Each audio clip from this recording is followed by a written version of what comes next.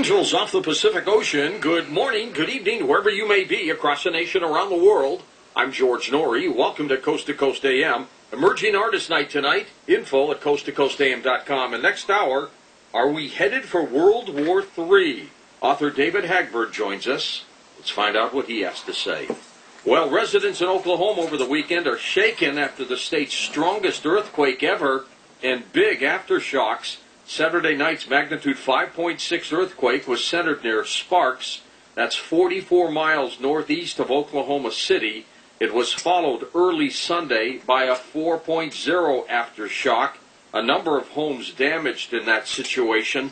Mitch Battros, EarthChangesMedia.com, has been doing some research on the matter. How many swarms of earthquakes in o- Oklahoma lately? Uh, I think they're they're over 10, and that's registering over a 2.5 or higher. There's several more than that. I saw one report saying there were somewhere around a thousand if you were considering, uh, you know, the ones and one twos. The little ones, going on yeah. Sometimes. Uh, but yes, this is definitely a significant event. All eyes are on. Uh, this is one of those places where many people thought that Oklahoma, Texas, uh, Colorado, some of the surrounding areas were, quote, safe zones. Um, but that's not the case.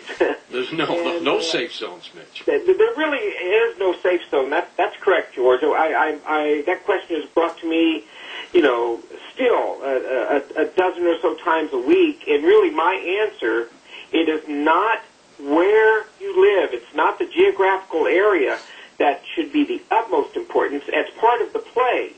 But that's not the, uh, the, the confirming factor. It's who you live with and around that will make the huge difference. Just a few days ago with the solar flares up uh, uh, in, um, uh, or the extreme weather they were having in the Northeast, we found that out rather quickly. Uh, the, the emergency uh, uh, the police department, fire department, the search and rescue, Red Cross, they couldn't get to these millions of folks uh, uh, to, to stay warm, That's to right. that their needs were met. It took their neighbors. Um, we saw it again in 1989, and uh, it's that kind of thing that we start, need to start thinking about. Mitch, this 5.6 was was felt as far away as what? Wisconsin? That's right, uh, and, and there really are some similarities to the New Madrid Fault. That is uh, Oklahoma. That part of Oklahoma is within the New Madrid range. Now, of course, what's unique to this one is is uh, the epicenter itself, which is very rare in in and of itself, is in Oklahoma. Uh, and and that uh, that hasn't been seen for uh, uh, maybe uh, just short of 100 years. However, it's been over 200 years since Oklahoma has experienced anything like this. Uh, not only in the uh, magnitude of the quakes, but this ongoing swarm uh, that that's occurring, and some of them are still three uh, in the threes and fours. Well, I got to tell you, Mitch, these earth changes truly unbelievable. Thank you so much. A story we've been following here at coasttocoastam.com. A huge asteroid will pass closer to Earth than the moon on Tuesday, giving scientists a very rare chance for study without having to go through the time and expense of launching a probe. Earth's close encounter with asteroid 20, 2005 YU55 will occur at 6:28 p.m. Eastern Standard Time.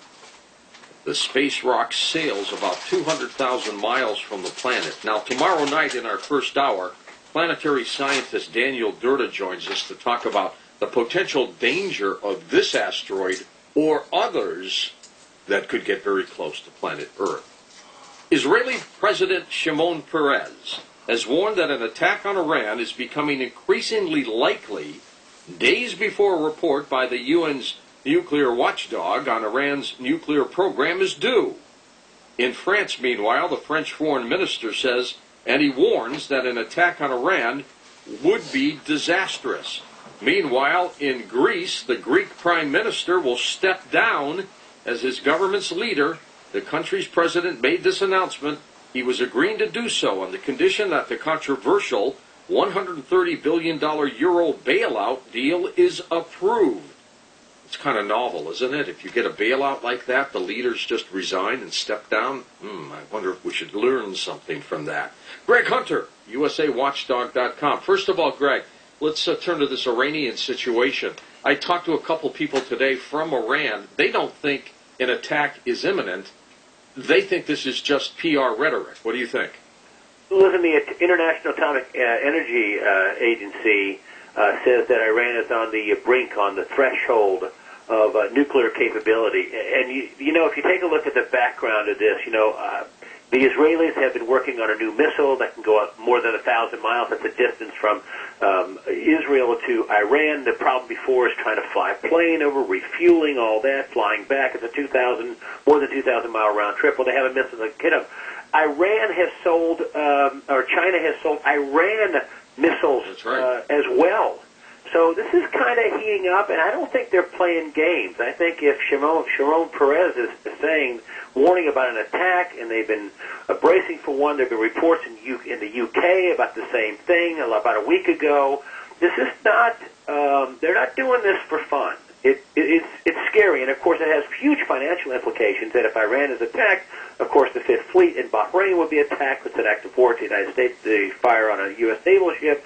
The Straits of Hormuz, which is in the south of uh, Iran, will also be closed down with 30 or 40 percent of the world's oil goes through there. Oil prices spike. The economy it tumbles into even worse the depression that it's already in. When's the last time, though, a, a leader of a country made an announcement prior to the attack by saying that it's becoming increasingly likely? I I think they flight, uh, float trial balloons all the time, and I think they're fly, floating a trial balloon to see who says what and who will react. I mean, there'd be a, a big implications with China. Uh, China uh, refines, uh, you know, Iran's raw crude oil and ships it back to them in gasoline and things like that. The uh, the so uh, the I almost said Soviets, the Russians. Uh, you know, are in big business uh, helping Iran build their nuclear facilities. So uh, this could be a really ugly situation. It could throw the world into uh, a, a big war right away if this happens. So we'll see. I, I, in an election year, you would think that'd be the last thing that Barack Obama would want to see, but you know, stranger things have happened. The entire um, uh, European debt crisis situation will continue to be a roller coaster. You know, one of the things they floated at the G20, and now we're getting down to the brass tacks. They wanted Germany, which is the world's second largest holder of gold, to back this bailout fund, the EFSF, European F- uh, uh, Financial They're Stability Facility. They got 3,400 tons of gold. But here's the other thing, and, I, and this is now it's getting down to oh they're going to back something with real money, with real store of value, real collateral. Italy is the third largest country of uh, the, a holder of gold. It's actually fourth if you include the uh, IMF. They have 2,400 tons of gold, and Spain is like 19 on the list. They have 280 tons of gold. Now, Spain and Italy. The reason why I bring them up, they have 3.4 trillion dollars in this sovereign, sour, sovereign debt. And they may be asking Spain and Italy to come up with some collateral when they need to be bailed out because they will. And I don't think the Greek situation, they, they supposedly going to cut a deal. Ultimately, they want even more cuts than they've already had over in Greece. They've had riots and protests. And I think no referendum, uh, and I still think the country will get a referendum one way or the other. And protests in the streets are a nice, neat one by vote but I don't think they uh, I don't think they will ultimately make their commitments, and I think they will default, just like I think Italy and Spain will default. But the thing is, will uh, Italy have to put up its gold? And let me ask you this. An American listening to this program right now, or a Canadian, they're probably saying, what do I care about Greece? You care about Greece because the banks are interconnected in this daisy chain of credit default swaps and debt and leverage. You know, MF Global, which is in the U.S., I thought European banks would go down, and that's the big untold story. Here's why you should care. Because what they're not telling you in the mainstream media is that there are going to be many bank defaults before this is all over in Europe. And also in the United States, there are going to be bank defaults. MF Global isn't a bank, but it's a primary dealer in treasuries, and that's one of, but now there's only 21 dealers left, which brings you to the question of this. If the Federal Reserve, which is the regulator uh, of record when you are a primary dealer, how bad are the other primary dealers? How much leverage do they have? MF Global, 40 to 1 leverage. Some of these other big banks with all these big uh, leverage positions like Bank of America, like JP Morgan Chase, some of the biggest banks in America have something like almost 50 to 1 leverage, and they have all kinds of stuff, and they do have exposure to sovereign debt. So what does somebody over here in the U.S., uh, uh, what, what would they think about in the U.S.? Well, they would think about how much money are they going to print to have to stave this off, or or are they going to get this is going to get out of control, and are they going to uh, basically uh, have bank failures over here in in a big way? That's the wild card. Ultimately, I think you got to count on. This is what I first said when I came on your show, Joe, show, George, and that was count on inflation. What do we have? Some pretty big inflation. You got it. Thanks. Greg Hunter, his website, usawatchdog.com. I'll always remember the late Howard Cosell broadcasting the battle between George Foreman and Joe Frazier when Foreman just pelted, pelted Frazier, and Cosell would scream, down goes Frazier. Remember that? Well, legendary boxer Joe Frazier is hoping he can achieve the biggest knockout of his life, beating liver cancer. The 67 year old champion who was diagnosed a month ago is now under hospice care. Although Frazier is a former heavyweight champion, he is best known for being the first man to beat Muhammad Ali, which happened during the fight of the century at Madison Square Garden in 1971 singer Andy Williams. He has bladder cancer. It's undergoing treatment. Plans to return to performing next year. The singer told fans at a concert in Branson, Missouri, Saturday night that he has cancer. Andy Williams is 83 years old. He shared the news during his Christmas show at the Moon River Theater, which he created in 1992. In Miami, a woman found her father dead inside his home with 60,000 bees hovering around. They were in the walls. The man's daughter found him in the upstairs bedroom of the home. The man was renovating the house, which neighbors had said had been in the family for decades. The cause of death not immediately determined. I would say he probably got stung to death. And how is it that the ancient civilizations were able to maintain their cultures in perfect equilibrium for thousands of years, but ours all screwed up within just a few decades? Up next, Freddie Silva joins us. We'll talk about that on Coast to Coast AM.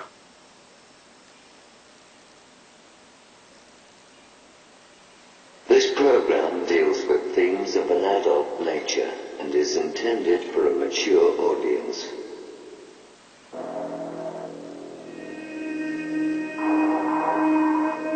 The very word secrecy is repugnant in a free and open society. And we are, as a people, inherently and historically opposed to secret societies, to secret oaths, and to secret proceedings.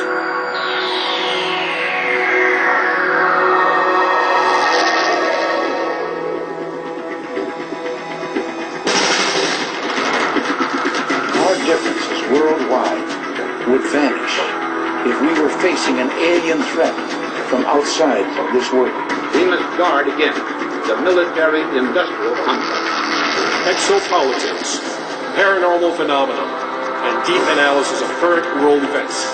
From somewhere in the desert, between Area 51 and Roswell, blasting across the planet, the Manticore Network proudly presents Veritas, because the truth will set you free.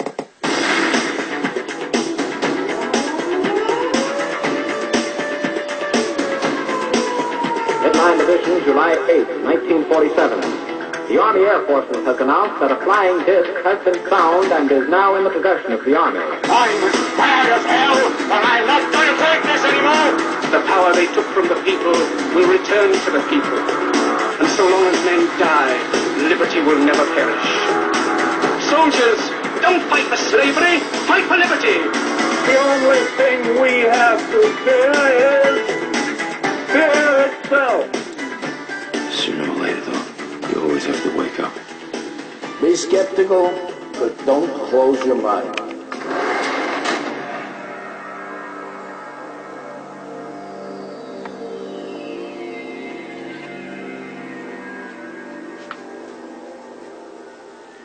Greetings to everyone around the world, and a warm welcome to another edition of Veritas at VeritasRadio.com. I'm your host, Mel Fabregas, and I sincerely thank you for joining me once again. And if this is your first time, please make yourself at home. I want to thank all our members for your loyalty and support. You are the ones who make Veritas possible. Tonight's special guest is monetary historian, author, and radio host Andrew Gause.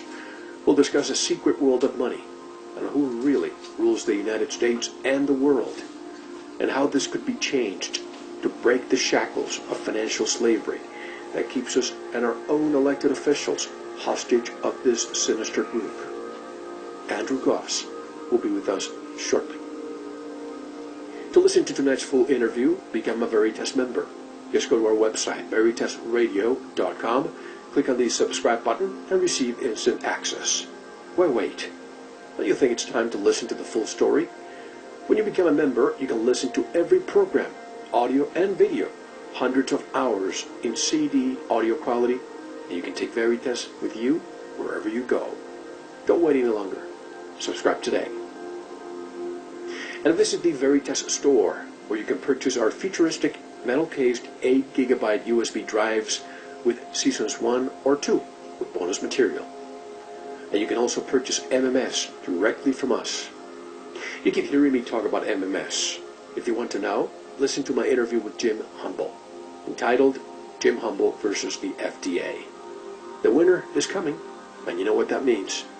Don't get caught off guard. Go to the very Veritas store and find out. You'd be glad you did.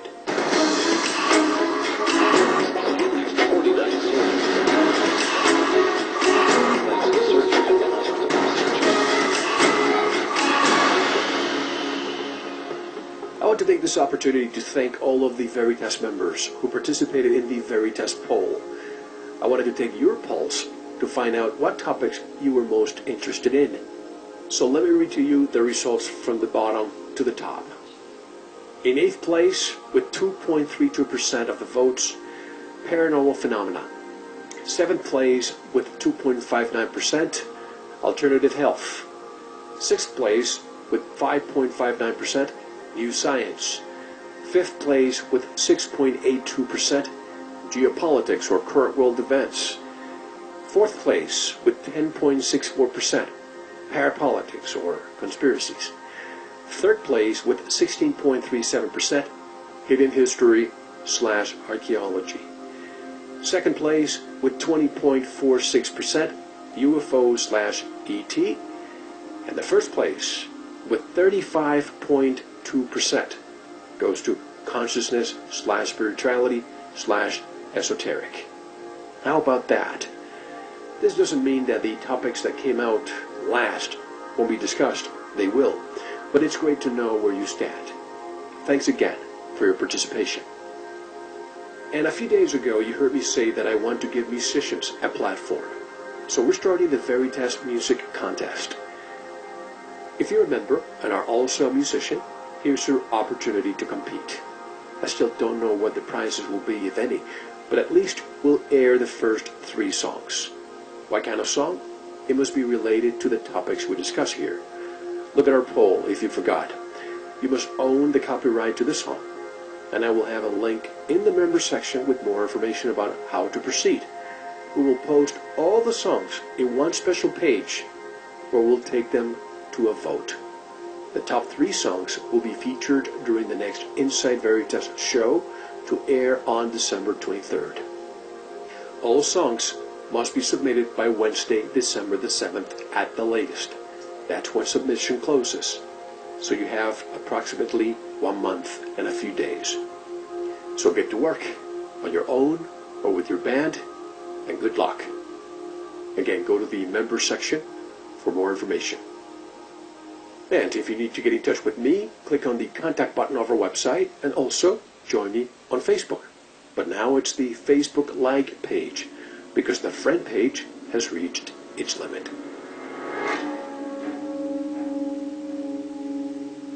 Has the Occupy Wall Street movement decided what they are protesting? Could this movement have been orchestrated by the puppeteers? Why aren't they occupying the real culprit, the Federal Reserve? Do you want to know who owns the Federal Reserve and how much influence they have? Which, in fact, it's more influential than our own elected officials. If this is the case, then there is no doubt that our president and representatives are there to keep the illusion that our government is one of the people, by the people, and for the people. But nothing can be further from the truth. Will there be a financial collapse? And if so, what practical solutions do we have?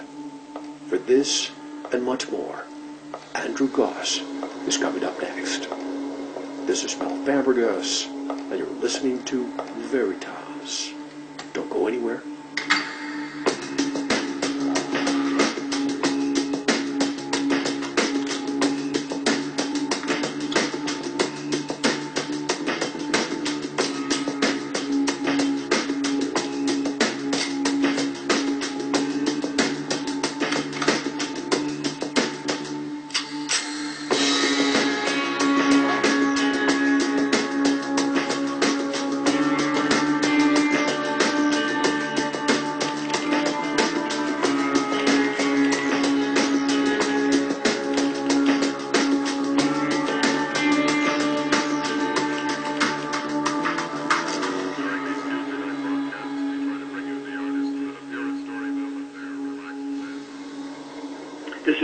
Perkins, and you're listening to Veritas.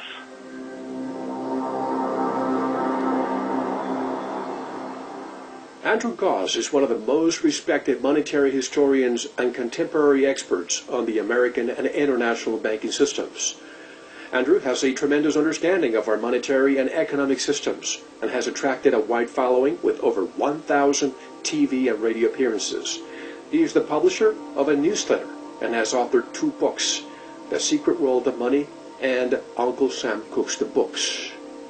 And directly from the state of New Jersey, I would like to welcome for the first time on Veritas, Andrew Gause. Hello, Mr. Gause, and welcome to Veritas. How are you? Hello, thanks for having me. May I call you Andy? Oh, please do, yes. Thank you very much.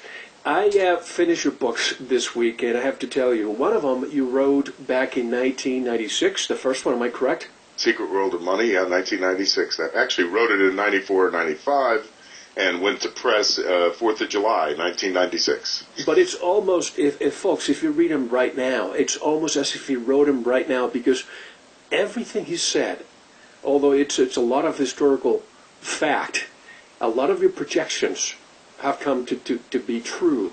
And, and that's why I'm so glad to have you here. First of all, Andy, let's talk about the, the elephant in the room. Occupy Wall Street. I really just cannot understand what their true purpose is. Do you know? No, I don't think they know. Uh, I mean, we have protesters from all walks of life. Uh, they're protesting greed. They're protesting uh, the corporate takeover of America. They're protesting high college tuition. I even saw one group down there protesting the wearing of fur. So I imagine anybody who sees a crowd and wants to join a protest would fall right in with a bunch at Occupy Wall Street. You know, I think Wall Street is perhaps a symptom of the problem. Why aren't they occupying the real culprit, the Federal Reserve System? Well, I think they don't understand the nature of the beast. Um, I mean, I did wade through the crowd to ask these folks where they thought money came from. And by and large, the majority thought the government issued the money. And so I think with such a weak understanding of the monetary system, uh, this is why they're protesting at the banks instead of at the Federal Reserve where they probably belong. I think you're right there. Do you think that perhaps, um, and I don't want to get political here, but you think that, that once in power may be promoting this because it, it, it just takes away from the real problem once again, the Fed? Oh yes, this is definitely uh, this is definitely the work of the Demopublicans, or is it the Republicrats? Same thing. I, I get those two confused. Uh, you know, the reality is that both political parties cater to this same super group, and if you look at the owners of the Federal Reserve banks, primarily the Federal Reserve Bank of New York, and then you look at the campaign contributions on the FEC website, you'll see that the number one contributor to both political parties are the owners of the Fed. Then the number two contributors are their lawyers. And the number three contributors are their lobbyists. So by and large, the campaigns of this nation's politicians are funded and financed by the owners of the Fed. And I think for that reason, uh, you're very unlikely to see anyone speak out in more than a whisper ab- about them.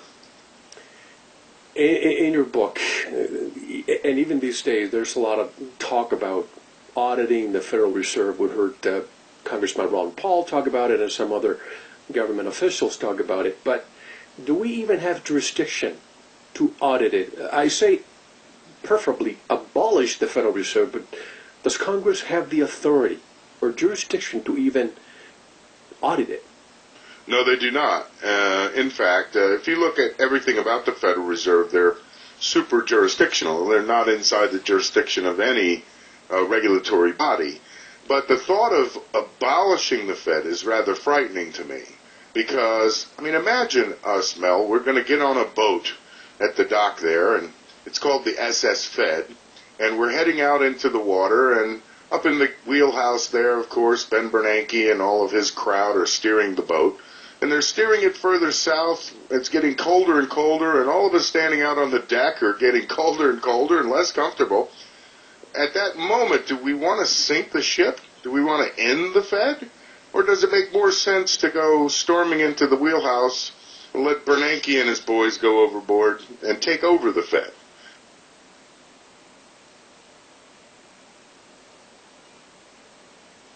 That to me seems like a much more logical solution. Before we uh, go off and sink this boat that we're all dependent on, uh, let's take over the the helm and steer it back to where we'll be the comfortable ones. So you're a proponent of doing it gradually then? Yeah, but no. You know, when I've gotten into conversations with this with, and I'm a strong Ron Paul supporter, don't get me wrong, but when I've gotten into conversations with this with folks from the Austrian School of Economics, the von Mises Institute and the like, their attitude is, okay, we have a transition period. A transition period where we move from a Fed-controlled economy to a, a people-controlled economy. And I would ask you, if you came home one day and you saw three burglars burglarizing your house, and you walked into your room and said, okay, you guys stand right there while I call the police. You know, are they going to just stand idly by while you call the police and have them arrested and put in jail? I don't think so. I think, in fact, they'll probably do their worst at that moment in this transition period. So I don't think a transition will work at all. I think a simple takeover with the Marines by executive order on any given Monday. You know, if I were president, that's what would happen. My Marines would surround the Federal Reserve Bank and one of my generals would walk in and say that this is now the property of the government of the United States, and everyone here works for us. You're all drafted, and uh, I would be in charge. That would be a government institution and not a privately held institution. Now, from there, uh, where the profits of that institution go, in my view, should be back into the Treasury because the functions of the Fed are not bad. It's just that the profits now are siphoned off for the benefit of the owners. And it's important to, to go back to your book because a lot of people don't know this, but in your book you say Congress required auditing the Fed by the General Accounting Office in 1976, but exempted all monetary activities from such audits. Audits are restricted to real estate and office supplies, etc. So at least taxpayers know how many paper clips they use. That's right. Uh, you know, when I looked through that audit, um, and again, you know, for those who swear the Fed has never been audited, this audit is out there and available. I, this is where I found that they had 47 Learjets, Mel. I found that they had an art collection that had been accumulated since 1913 and was on the books with about a $30 million price tag. And that they had a full-time curator that looked after this art collection and, and that it wasn't on public view. This was art that they kept in their private offices. So this type of spending just on its face, exempt from appropriation, exempt from oversight by Congress, even if you don't audit the Fed, forcing them to turn all of their earnings over to the Treasury and then come to the Congress for an appropriation the way every other federal agency does, I think that might eliminate some of the bulletproof limos and the subsidized dining and the cafeterias and things of that nature and the fitness workout centers and the exorbitant perks that the uh, owners of the Fed enjoy and the employees as well. It was Baron Rothschild who said, Give me control over a nation's currency, and I care not who makes its laws. If that's the case, then is it safe to say that the, the one entity that really rules the United States, and perhaps even whenever there's a, a central bank in any other country, would it be safe to say that it is the Federal Reserve System who rules the United States? Oh, no question about it. Yeah, the, the Federal Reserve banks and its owners own and control the bulk of the wealth of the United States. You know, this is one thing that the Wall Street people, Occupy Wall Street rather, have correct, and that is that that 1% slice or segment, uh, and it's all been handed. You know, it hasn't been earned. Uh, the idea that you, I said to you, Mel, I want you to go out tomorrow and buy every radio, TV station you can get your hands on, and I'm going to create money and loan it to you so that you can accomplish this how difficult would that be for you? Not at all, right? And so this is the way that the Federal Reserve has used its power to put its friends and those in its circle into control of all major industry in this country. In fact, there's a Senate report on the subject called Interlocking Directorships Among the Major U.S. Corporations, and it'll clearly outline how in the period from 1913 to about 1935, the Federal Reserve ultimately consolidated its ownership, and I, again, I speak of the owners of the Fed, obviously not the bank itself, but those entities that own it uh, have permeated themselves into every single institution of any substance in the United States. So, yes, it is fair to say that the Federal Reserve rules this country. The President Garfield, you remember that one who was assassinated by a lone nut? Yep. Uh, he said, uh, "Whosoever controls the volume of money is the absolute master over industry and commerce. And you know, one thing I really always find coincidental is that the Income Tax Act and the Federal Reserve Act were passed in the same year. Was that a coincidence? No, it was not. In fact, if you read the, the writings of John Maynard Keynes, who's a favorite of those uh, um, sure. supply side economists, yep. you'll see how he points out that absent this regulation, this is the really what an income tax is. It's acting as a spillway for all the excess money that comes into circulation. So imagine a pipe, and it, at one end of the pipe, the Federal Reserve is pouring in money. At the other end of the pipe, the money is coming out and going into the businesses and coffers and, and hands of workers in the United States. If the Fed just kept increasing the money supply at that other end of the pipe, then the supply of money would grow so large that it would obviously cause inflation. So in order to regulate the inflation that the increase in money would cause, then they needed an income tax in order to siphon away your purchasing power. Now, in fact, Beardsley Ruml, the chairman of the Federal Reserve, uh, excuse me, president of the New York Fed in 1946, wrote a great piece. It's available widely on the internet entitled Taxation for Revenue is Obsolete the idea that the federal government uh, would have to tax in order to generate revenue is absurd. It owns a printing press. So it could theoretically simply print all of the money that it needed in order to finance its operations. And that's effectively what they do now with the majority of our income tax going not to pay principal or not to pay uh, interest, or rather of uh, public works projects, but rather just to pay interest on the national debt. And, you know, sometimes you have to explain to the layman how the Federal Reserve works, but they just can't seem to, to, to even grasp the fact that it's the equivalent of me taking a, a and I hate to sound like this, but taking a roll of toilet paper, giving it to you, and say, you know, each sheet is going to have this value, when in reality there's no value at all. And they make their money in interest. And what else do they make their money on? Well, the interest is the key to it all. You know, if you think about it, let's say Congress spends a thousand dollars that it doesn't have. Uh, eh, eh, eh, they could raise taxes and collect more taxes from us, or they most likely issue a bond. I owe you a thousand dollars, paying this much interest every year. Now they hand that bond over to the Federal Reserve, and the Federal Reserve simply creates the money, the note, right, and gives it to the Congress. So now Congress has money to spend, and the Federal Reserve has a bond that yields interest. But that is one, only one way that they make money. The second most important way that they make money is in financial operations, what they call open market operations. FOMC, the Federal Open Market Committee, is that branch of the Federal Reserve Bank of New York that's charged with conducting monetary policy.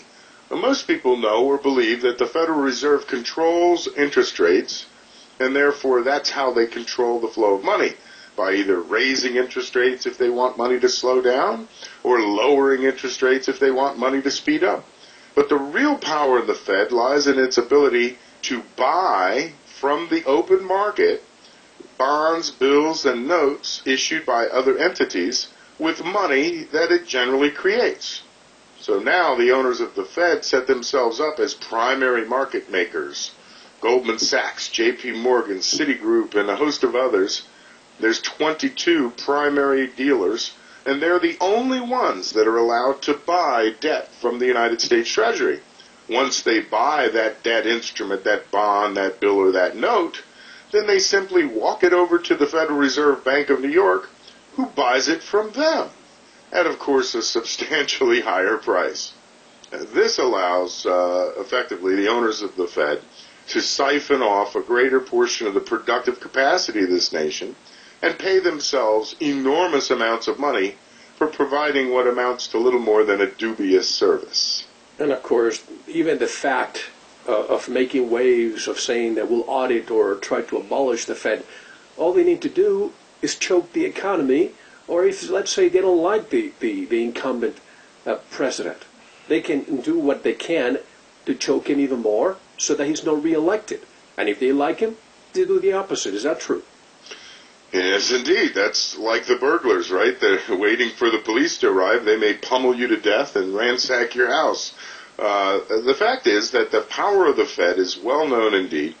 And if you look at monetary history, you'll find that the Federal Reserve's forerunner was two institutions. The first Bank of the United States, which was ended with the War of 1812, and the second Bank of the United States, which was killed by Andrew Jackson. That's right. Now, Andrew Jackson, in his campaign, said that, you know, these guys control the economy. They absolutely are masters over this nation, and they're a den of vipers, and I want to rout them out. And the, the president of the of this uh, Second Bank of the United States at the time was a gentleman named Nicholas Biddle. And Mr. Biddle told Jackson that, look, if you do this, well, I'm going to absolutely choke down on everything that is the economy, and I'll make situations so bad that uh, you'll beg me to come back and, and uh, run the banking system. And so he did do exactly that. He called all of his banking branches and all of his banking folks, and he sent out circulars that said, recall all of your loans, don't make any new loans, don't favor businesses that support Jackson. And in doing this, Mel, he overplayed his hand. He revealed to the American people that, look, these guys are, in fact, as powerful as Jackson says they are. Whereas before they were running things from behind the scenes, once Jackson forced them out into the daylight, why then their power was revealed to the people who quickly swatted them down. I would like very much for that to happen today. I'd like to see the Federal Reserve exert its power and choke the economy and create the type of depression that they threaten because maybe then the American people would see that they are, in fact, in control of everything that is the United States of America. And this is a historical aspect that not a lot of people know, is that from 1840 to, to 1861, it was really a great period for, for the United States. And uh, because of Jackson, he ensured that no private central bank was allowed to create American currency. So the U.S. Treasury became the central bank, and it meant a debt-free U.S. Treasury. If history can repeat itself, is that where you see the United States going? Well, that's more of the Austrian model, and I, and I want to make that clear. The the elimination of the monopoly power to issue money is what uh, what the Jackson Revolution entailed. See, he didn't so much eliminate fiat or unbacked money or credit money. What he did was eliminate the monopoly power of the first bank or second bank of the United States to issue these notes. So quite simply, if you and I wanted to start a bank and issue, you know, Bank of Mel and Andy notes, to the extent that the marketplace would accept those notes, and to the extent that we could redeem them and, and not commit fraud, we would be free to do that. Uh, imagine now if McDonald's started issuing money, or if other major corporations started issuing their own money notes. Uh, that would be tremendous competition for the Federal Reserve indeed. And so this monopoly power to issue money is what the Fed has and what the Austrians suggest should be taken away. Uh, they suggest we should go back to a gold-backed money. You know, gold defined, one ounce of gold is so many dollars. One ounce of silver is so many dollars. And then anyone who wants to issue notes for money, IOU money, uh, is free to do so. Uh, I disagree with that. I I disagree with that. I think that the power to issue money, fiat money, should rest with the government of the United States and with our elected officials. I know Congress doesn't get much right, and if you allow them to, they'll spend all willy-nilly like a bunch of drunken sailors. Yeah. But I can't see them doing a worse job than the Fed has over the last 95 years. And the question is, why do we even? Well, before I ask you that, didn't the same owners of the Federal Reserve System weren't they the ones who caused all the financial trouble before 1913, all the panics, so that people would clamor for some kind of order, so that in their minds those panics didn't repeat themselves? You know, this is the Hegelian dialectic, right? It is Problem, the reaction, solution, sure. Yeah, thesis, and antithesis, synthesis, and so you know the idea that oh look at this terrible problem. In this case, you're right. In 1907, J.P. Morgan Chase, J.P. Morgan at the time, wasn't Chase yet.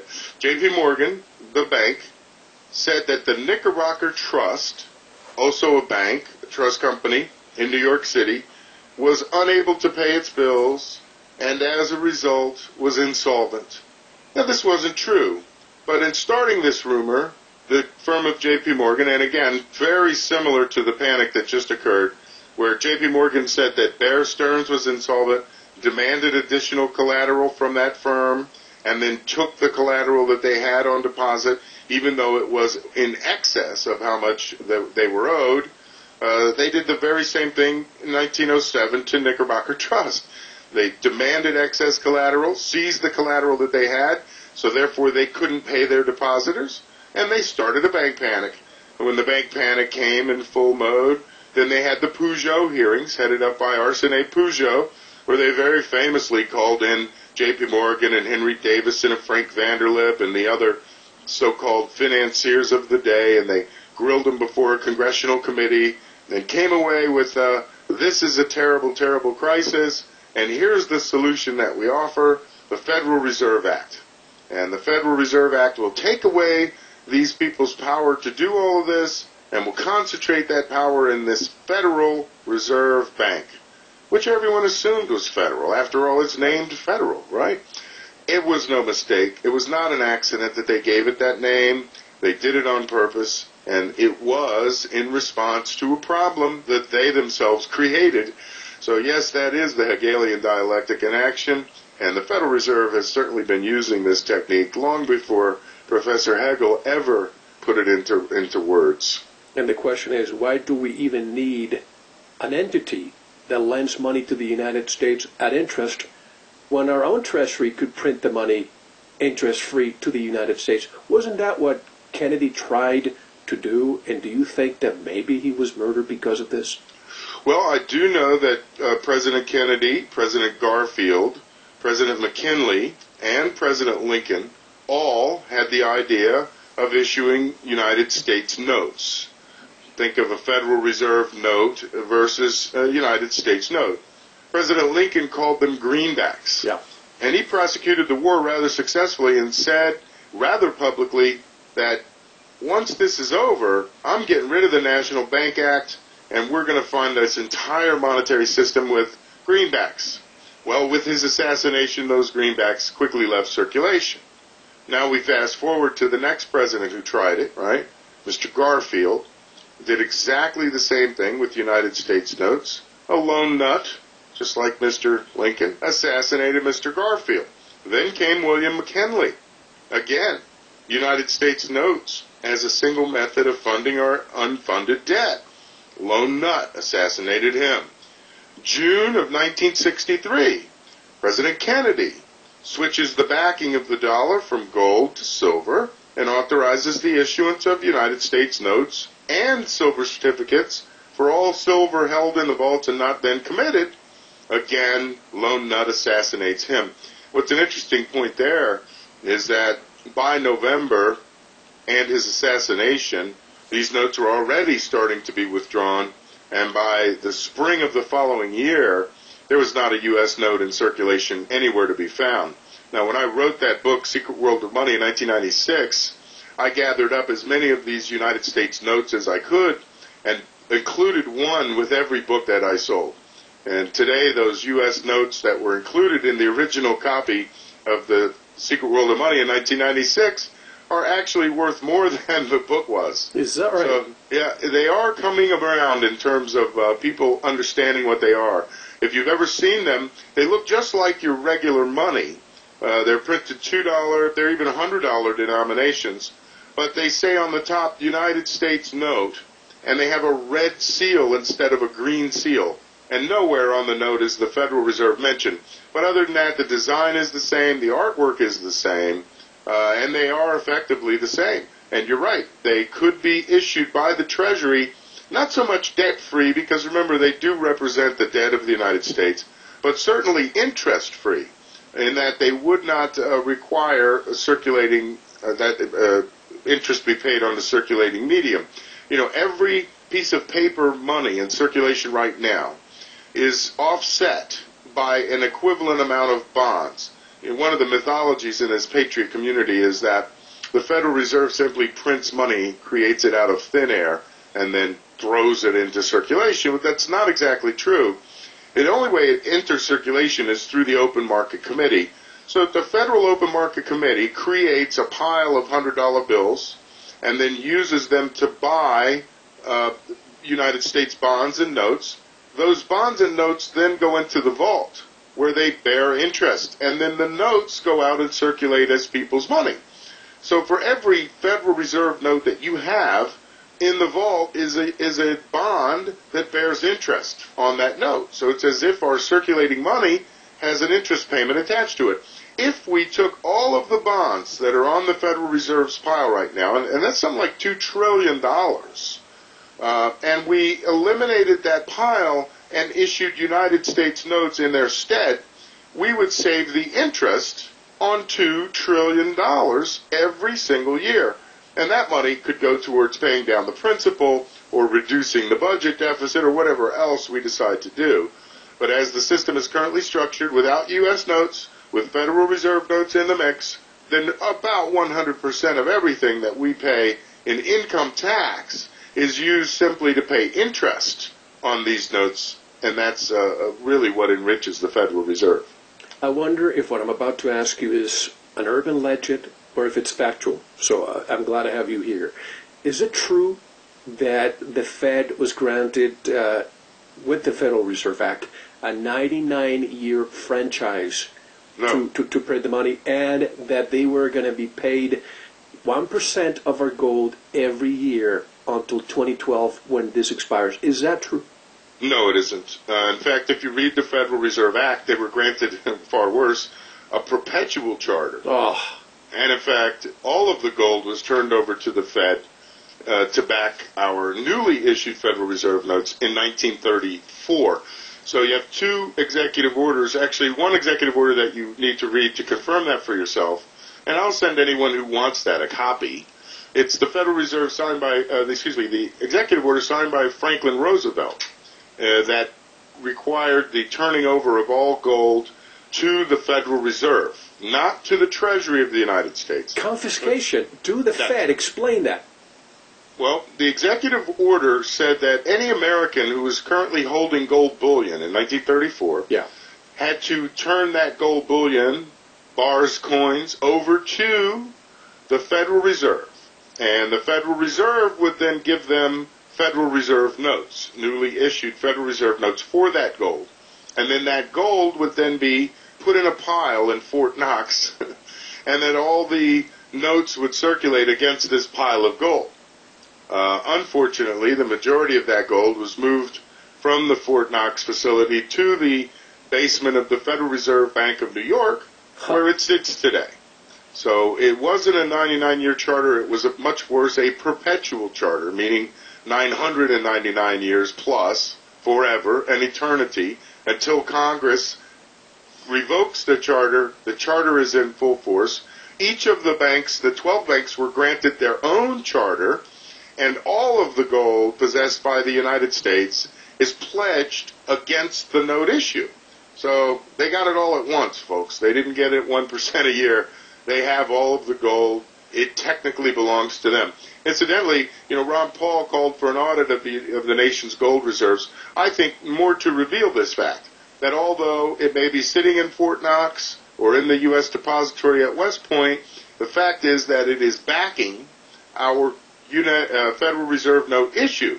And with nearly $15 trillion in circulation and only 260 million ounces of gold on the books, that's not even a, a hundred to one cover. In fact, if you took all the Federal Reserve notes that currently exist and put them in a pile and divided it against the all of the gold owned by the United States or in the Federal Reserve's vaults, you'd get a price of gold in excess of $57,000 an ounce. That's why I think gold is dramatically underpriced at today's levels. Who owns the gold in Fort Knox? Is it the United States? No, it's pledged against the Federal Reserve notes. It's a collateral. So collateral. Yes, Huh. exactly. Yes. So why don't they tell us how much gold they have? Is it because of the involvement of the Federal Reserve? No, they do. In fact, you know, this is one of the best documented conspiracies ever. Okay. They they do have a, a balance sheet published that tells us how many ounces of gold are being held. It's currently around 261 million ounces. Additionally, the Federal Reserve publishes an H41 balance sheet every single day. So, I mean, you could go in there and find out on a daily basis how much money they've put into circulation, how much they own, how much they control. And furthermore, this audit of the Fed that Senator Bernie Sanders managed to get through in an amendment caused the Fed to have to release all of the monetary data of the transactions it undertook during this monetary crisis. So a glimpse into the Fed, unlike any ever before provided in history, shows us some 15 or 16 trillion dollars worth of monetary transactions involving the Central Bank of Libya and other so-called enemies of the United States. But yet we the people reacted with a ho-hum and a yawn. Um, much like the defense attorney that drowns the plaintiff's lawyer in a mountain of paperwork and says, here, you sort through and find the real meat. This is what the Fed has done to us. And any meaningful audit of the Fed is going to result in such a dump of data that I don't think the American uh, public will have the stomach for sitting and sifting through it. That's for sure. And even if they do audit the Fed and they come out with a few anomalies, they'll say, okay, we'll correct them, they'll move on forever. Next. That's right. That's Right? right. That's exactly right. But Social Security. I remember when I was growing up, my parents would, would request my Social Security number when I was, you know, 15 or 16, when I was ready to have my first job. Now, even hours after your baby is born, the nurses have the paperwork right there, and they literally do not let you leave the hospital unless you fill the information out. Is there a correlation here between this and making you and I and our children collateral the moment they're born? Well, this is true. There is, and that's a bit of an urban legend, but there is a, a degree of truth, like all the urban legends, right? And here's the degree of truth in that, Mel. You know, the International Monetary Fund sets standards. So if you went to a bank today and you said, I want to borrow $100 and I'm going to pay it back with the income from my job, and here's my job, and I have income, and here's my tax form, and it shows that I'm going to make the money to pay you back. Well, then the bank approves the loan. Well, think of the United States government as that same type of creditor. And so each time it applies for a loan, it has to be able to show a revenue stream. Right. Where does its revenue stream come from? Well, it comes from the workers that pay tax on their labor. And this tax is represented by the Social Security number. So each time they get another Social Security number assigned to another person, why, that's one more revenue stream that they can add one more revenue stream that they can add to the pile and therefore expand their monetary system. So the IMF sets very specific standards, and to the extent that the federal government can provide this collateral, in this case a social security number attached to a working individual with a working lifetime and some apparent degree of revenue that will result in tax income for the government, then okay, now then you can borrow more. You can create more. So yes, it's true, but no, it's not true. You know, it's one of those uh, in the middle type of things. There is a certain degree of truth to it, but it is not true that they hold your birth certificate in some account somewhere and they are using your physical body as collateral. What's the difference between the IMF and the World Bank? Well, the International Monetary Fund uh, has a lot more power than the World Bank. Think of the World Bank as an institution that's established for purposes of lending money. Uh, the IMF is established, established for the purpose of supervising the monetary system worldwide. So you have to think of the IMF as the central bank for the central banks. Uh, and with it, of course, all that power. Uh, this, of course, this is the institution that it is intended to dominate world finance as we head towards a single currency or one world currency the IMF will play the leading role in that uh, scenario. So let's see if I understand this correctly. But by the way, who's behind the IMF? Is it the United Nations or is it the central banks? It is the central banks, yeah. Primarily the uh, the United States was behind the IMF. So if the IMF were to be the the, the, the, the, the centralized bank for the entire planet, don't they need every single country to be united, one currency? Isn't this what's happening with the United States? And I have to say, today I was surprised because we, what is it? The Dow went up to 12, uh, 12,000. Uh, we we have uh, 400 points. So these ups and downs, and we, you know, I remember a year or two ago, if the stock market went down 50 points, the alarm bells were, would ring. But lately, it goes down 300 points and nobody says anything. The next day it goes up to 400. So is this being manipulated, and is the end goal? To kill the United States economy so that it's easier to clamor for a new world currency? No. In fact, um, the world is getting a new world currency. It's just not new to us. the dollar and Dollar Inc. is the preeminent brand in the world. They've spent 90 years building it. So to suggest that now they're going to demolish the dollar and somehow bring a new currency to bear that people are going to trust is absolutely flying in the face of, of monetary history. It's very hard to develop the type of confidence in a monetary system that would be required to replace the dollar with another currency. And the Fed has had so many opportunities to crash and completely obliterate the United States economy that they, I think it's fair to say that if they wanted to do that, they would have already done so. The per- first example, and very perfect one, would be the 9/11 debacle.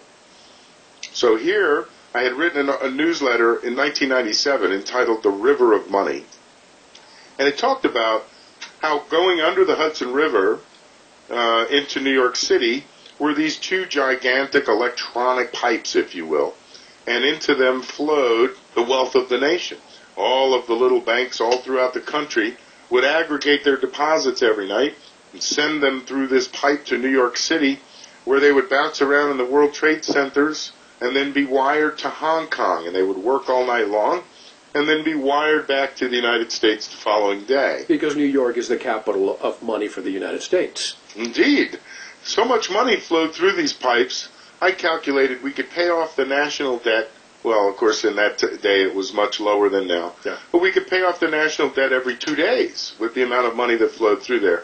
So now imagine all of the banks the night before 9/11 had wired all of their depositors' money into New York City, and there it was wired to the Far East, where it worked all night long. And so now we wake up that morning of 9/11, and the banks and the money center were supposed to have wired that money back to the banks in the middle of the country. They couldn't do it naturally because they were demolished. So all that the Fed had to do was nothing at all. Had they done nothing at all, there would have been no money. The entire country would have collapsed overnight. Never mind overnight, by lunch. What the Fed did instead was very interesting.